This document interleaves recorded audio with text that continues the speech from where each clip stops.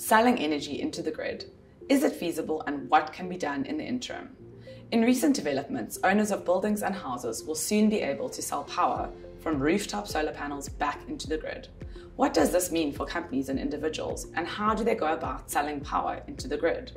Certain municipalities have already started the process of entering into wheeling agreements, in other words, buying power from independent power producers. Unfortunately, however, the high feed in tariffs make it financially unfeasible for the majority of property owners to install systems that have the capability of selling back into the grid. However, one does not necessarily need to feed into the grid immediately in order to benefit from reduced cost in energy prices, which have escalated by over 300% in the last decade. Property owners, especially property owners who use a significant amount of power, have many options available to reduce their energy consumption.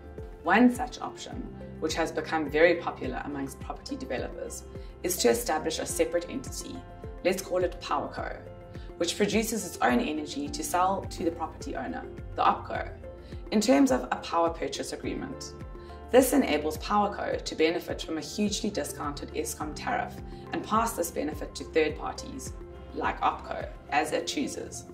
There are various different ways of structuring this depending on a number of factors, including the ability to either self finance or to raise finance from a third party, the current tariff charge to the OPCO, the amount of power that the PowerCo wishes to generate, and the different parties to the system. Caveat is well versed in structuring these highly beneficial transactions for our clients, and we recommend that even if the regulations are not quite in place in order to sell back into the grid, without risk and significant financial input, it may still be worthwhile to install solar systems and sell energy through a power purchase agreement to reduce one's own energy costs and benefit from the difference between Eskom's tariff and the cost of producing solar power. As solar systems are easily scalable, once these systems are installed, it should be a simple process to feed back into the grid once the regulations become clearer and it is financially viable to do so.